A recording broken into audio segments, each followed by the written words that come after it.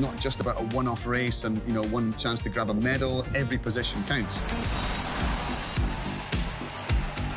They're going to get to see the best riders in the world.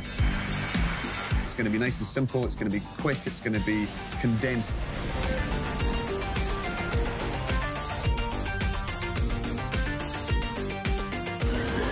They're going to get to see all the detail. They're going to get to see things like the power outputs, the heart rates, the, the sort of data behind the performance. I think for the fans, it's super exciting. It's what the fans really want, and I think it's, it's what the riders want too.